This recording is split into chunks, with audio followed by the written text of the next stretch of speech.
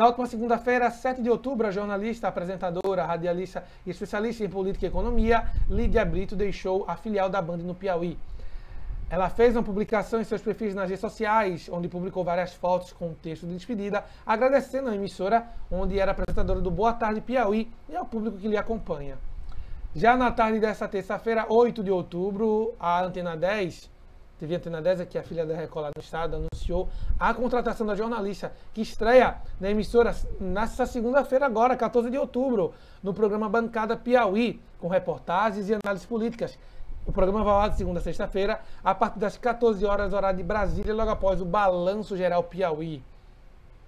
Além de outros telejornais do canal Piauiense, Lídia também terá a, é, é, em breve projetos exclusivos no portal A10 e nas demais redes sociais aí do Grupo Jet de Comunicação. Formada em licenciatura em Letras, Português, Comunicação e Jornalismo pela Universidade Federal do Piauí, a profissional foi repórter do site 180 Graus e repórter comentarista na TV Cidade Verde, afiliada da SBT no Piauí.